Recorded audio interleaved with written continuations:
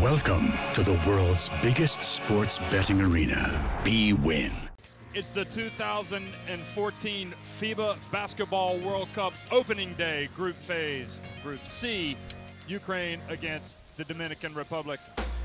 A Jeter just goes right past Sosa and gets in and puts it up off the glass. Nobody slided over. Three on the shot clock. Feldeine's going to have to rush. He does get it up comfortably, but Zaitsev and Martinez kept it alive. Gets it Whoa! to Sanchez. What a basket right there.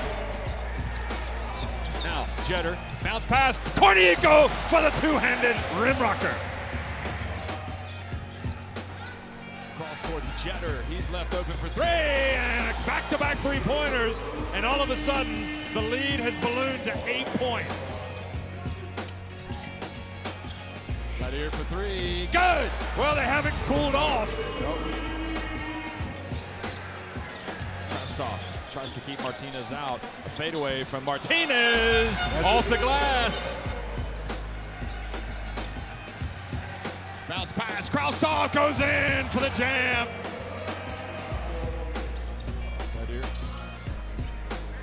Mishula for three. Go!